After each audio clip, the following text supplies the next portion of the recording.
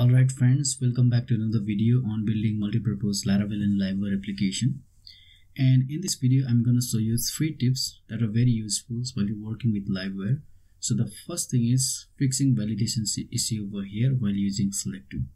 So let me go over here and show you. If we put the validations error div over here and change this to members and if I refresh the page let me go back to create appointment form. And over here for members let's make this as required. And if I hit the save button over here we will not see that validations message right? So in this video I'm going to show you how we can fix this. And the next thing is uh, let me inspect it. Let me go to network tab and over here if I select one items we are sending AJAX request to the server. If I choose another items we are again sending AJAX request to the server. If I delete this we are sending AJAX request to the server. But I don't want to make that happen. I just want to send only one AJAX request to the server when we submit the form. So in this video I will show that as well. And the third thing is uh, let me go to create appointment form.blade.php file and on the end we have this code related to text area input field over for this one. And we'll refactor this code and make this one line. So let's get started. So first let's start by fixing the validation error issue. So over here uh, we are just displaying this message. And this will not work we need to actually wrap this instead of main div. So let me wrap this with one div. Okay let me indent it. And over here we can add class. And if there is error related to members right and we'll be displaying the class called is invalid right? Now let me refresh the page. Let me close this one and click on save and we see the validation message. But we don't see the red border over here right? Because while using select2 with livewire we get such weird issues. So to make this workable uh, let's put another class called let's say is invalid only works on form control right? Form control class. So now let me press it and click on save.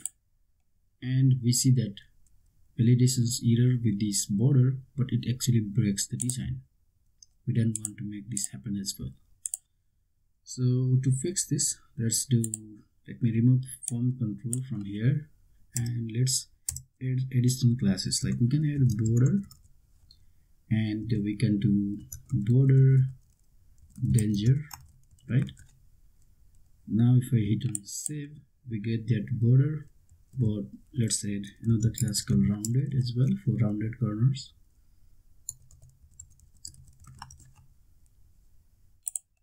Okay and it is working.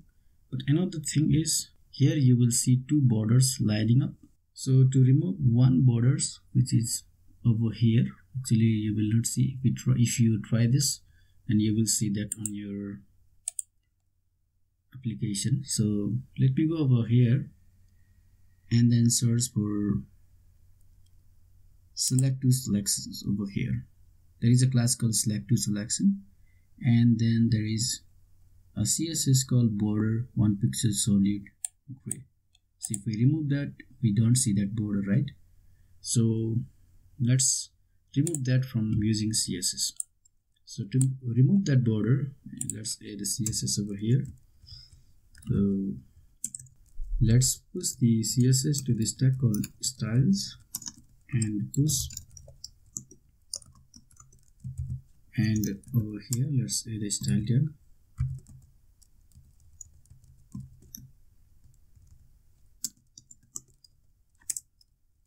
Okay. So here let's add a custom class called custom error. And then select2 select2 selection right?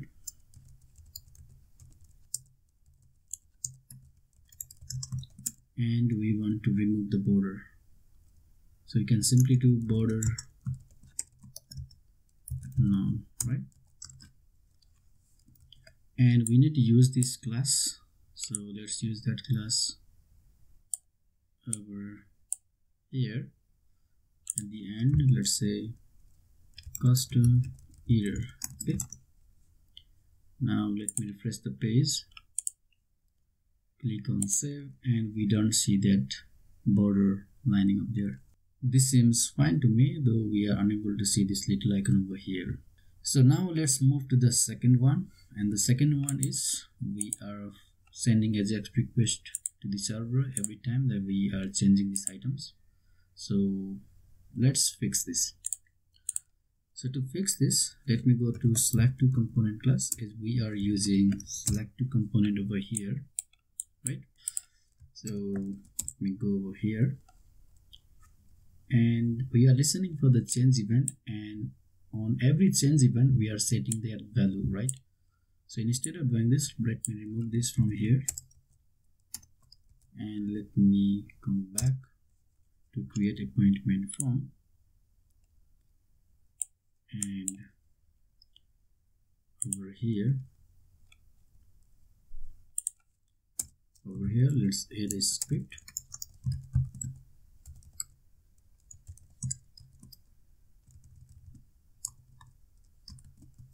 So let's listen for the form submit event. So we can simply do form and then submit on submit let's press the closure and inside that closure we can paste that code but we need to change this. Okay. Me remove this and let's set this manually. So we can do state dot members right? And for this value we can do members and then value. Okay. So now let me refresh the page and let me clear this let me select item. Yeah we are not sending any ajax request to the server which is perfect. If i remove this we are not sending any ajax request to the server. But if we click on save let me show you.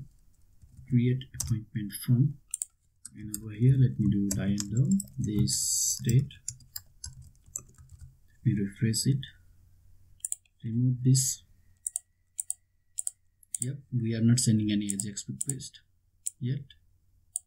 But now if we submit the form we'll be sending one ajax request and we have this available which is perfect. So now let's move to the third one for refactoring the code. So over here we have this code related to text area input field. So instead of writing this code we can make this as one line. While submitting the form we can set state dot note to the value of note dot value right? And then we can remove everything below this. Let me make this one line. And let me move this over here